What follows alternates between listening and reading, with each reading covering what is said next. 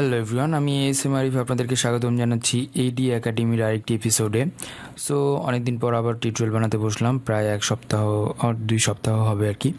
So আমার friend লিস্টে অনেকেই ফটোগ্রাফাররা আছেন সিনেমাটোগ্রাফাররা আছেন, যারা আমাকে সবসময় রিকোয়েস্ট করে থাকেন যে, ভাইয়া আমাদেরকে দেখান কীভাবে ফটোগ্রাফি টাইপের লোগো বানাতে হয়, বা ফটোগ্রাফি ওয়াটারমার্ক বানাতে হয়, যেটা কিনা সিগনেচার টাইপের হয়ে থাকবে। সো সেই জন্য আজকে টিউটোরিয়ালটি আমি তৈরি করছি। এটি আপনাদের কাজে লাগে। যারা ফটোগ্রাফাররা আছেন, তারা অবশ্যই এটি দেখতে ভুলবেন না এবং শেয়ার করতে ভুলবেন না। প্রথমে যে কথাটি বলে নেব যে, এই সিগনেচারটি বা এই টাইপের লোগো বানাতে হলে আপনার দুটি জিনিস লাগবে। দুই ধরনের ফন্ট লাগবে অ্যাকচুয়ালি একটি হচ্ছে একটু স্ক্রিপ্ট টাইপের ফন্ট যেটি কিনা হচ্ছে আপনার এই টাইপের সিগনেচার টাইপ ক্রিয়েট করে। এই ফন্টের ডাউনলোড লিঙ্ক আমি দিয়ে দেবো সো এটা টেনশনের কিছুই নেই। এবং একটি হচ্ছে ফর্মাল টাইপের ফন্ট যেটি কিনা আমরা নর্মালি দেখে থাকি বা সবসময় দেখে থাকি। সো এই দুটো ফন্ট দিয়ে আমি কিন্তু ইজিলি বানাতে পারি। আপনি যদি চ্যানেলে নতুন হয়ে থাকেন, তাহলে সাবস্ক্রাইব করে বেল আইকনটি প্রেস করতে ভুলবেন না। প্রথমেই ফার্স্টে যাচ্ছি ফাইলে গিয়ে নিউ নেব। আমি একটি আর্টবোর্ড নিয়ে নিচ্ছি twenty five sixty fourteen forty CMYK colour mode twenty five sixty fourteen forty and হচ্ছে ক্রিয়েট ক্লিক করছি। আমার আর্টবোর্ড চলে এসেছে। সো এখানে আমি টেক্সট টুলে যাব। টেক্সট টুলে গিয়ে লিখব। সাইজ আমি সাইজ আমি একটু বড় করে নিচ্ছি, যাতে করে আমার লিখতে সুবিধা হয় বা আপনাদের দেখতে সুবিধা হয়। সো টু ফিফটি একটু বড় করে নিলাম যাতে করে আপনাদের দেখতে সুবিধা হয়। সো এখানে লিখব, যেমন আমি লিখছি সো লিখলাম। লিখার পরে আমি ফন্ট অপশনে গিয়ে ফ্রের স্টাইলটি চেঞ্জ করে দেব। যেমন এখানে আমি হচ্ছে যে ফন্টটি ইনস্টল করেছিলাম, সেটির নাম হচ্ছে দিস ওয়ান সো হয়ে গেল।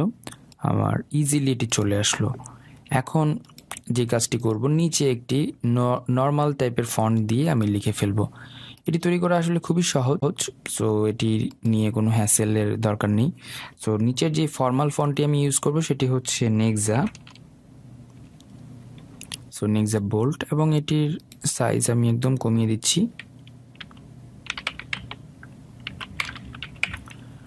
এবং এটিকে আরেকটু ছোট করতে পারি আমি ফর্টি এইট ওকে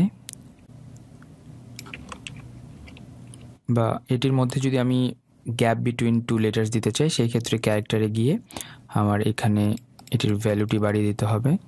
সো এরকম হতে পারে। বা এটি আমি হচ্ছে টু হান্ড্রেড যদি দিই ওকে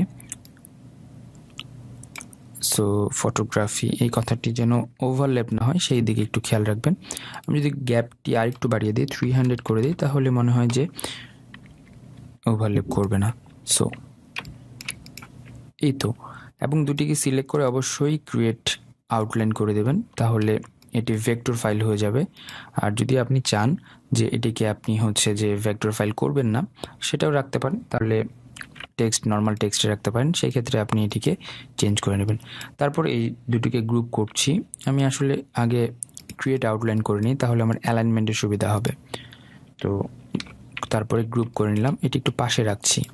পাশে রাখার পরে আমি একটি ছবি ইম্পোর্ট করব ফাইলে গিয়ে প্লেসে যাচ্ছি। এখানে স্টক ইমেজ আমি ডাউনলোড করেছি, সেখান থেকে একটি নিয়ে নিলাম। সো সাইজ অনেক বড়, তাহলে এটিকে আমি একটু ছোট করে নিচ্ছি।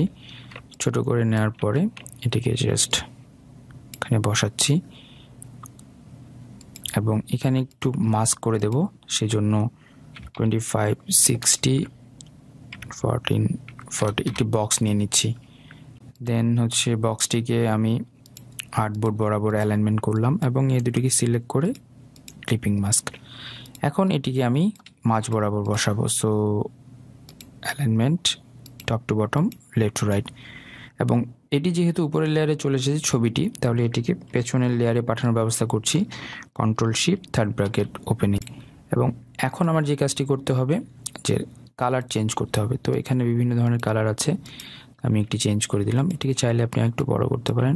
ওকে এই তো আমাদের লোগো রেডি এখন সবচেয়ে বড় কাজ হচ্ছে যে এই লোগো তো আমাদের রেডি হলো, কিন্তু আমরা ফটোগ্রাফিতে কীভাবে এটিকে বসাবো বা আমার ফটোগ্রাফিতে আমি কীভাবে ইউজ করব, এটার জন্য আমার ফটোশপের হেল্প লাগবে। সো সেটার জন্য ফার্স্টে আমি যে কাজটি করব, এটিকে এক্সপোর্ট করে নেব। তো রাইট বাটন প্রেস করে এক্সপোর্ট সিলেকশন আমি Photoshop Creative Cloud eighteen version use করছি সো এইটিন ভার্সনে রাইট প্রেস করেই আপনি হচ্ছে যে এক্সপোর্ট অপশনটি পেয়ে যাবেন। আর যদি সিএস ভার্সন ইউজ করেন বা আগের ভার্সনগুলো ইউজ করেন, তাহলে আপনাকে ম্যানুয়ালি এক্সপোর্টে যেতে হবে। সো এখানে আমি পিএনজি করছি এর নাম দিচ্ছি লোগো টু যেহেতু আমার এর আগে আরেকটি লোগো অলরেডি আছে সো সেই ক্ষেত্রে আমি লোগো টু নামটি দিয়ে রাখছি, যাতে করে আমার প্রবলেম না হয়। ওকে এক্সপোর্ট করে নিলাম। আমার এখানে এক্সপোর্ট হয়ে গেল পিএনজি ফাইল এখন আমি যে কাজটি করব, আমি হচ্ছে ফটোশপ ওপেন করব। ফটোশপ ওপেন করার পরে আমি ফটোশপে আমার ছবিতে এই মনোগ্রামটি বসাবো বা এই লোগোটি বসাবো।